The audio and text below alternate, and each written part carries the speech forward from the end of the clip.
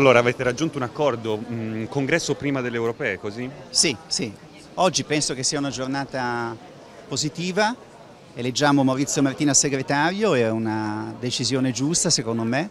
è anche un riconoscimento al lavoro e all'impegno faticoso che Martina ha riversato in questi mesi difficili e poi la decisione mi pare abbastanza condivisa è quella di tenere il congresso, di avviare subito la stagione congressuale, di completare questo percorso prima delle elezioni europee in modo da presentarci a quell'appuntamento fondamentale con un partito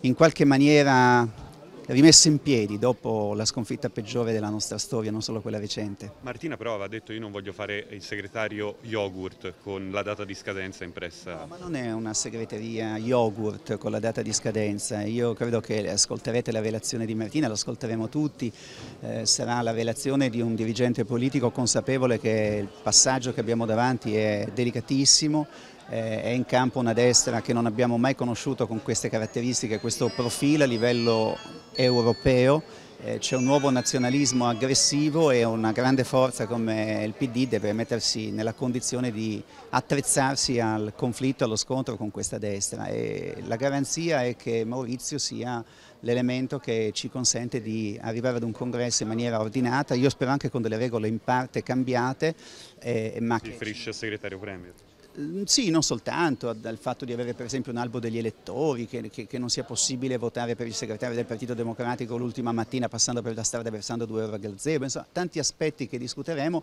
però credo che in questo senso Martina possa essere davvero il garante di un percorso ordinato in questo momento e anche di questo che abbiamo bisogno.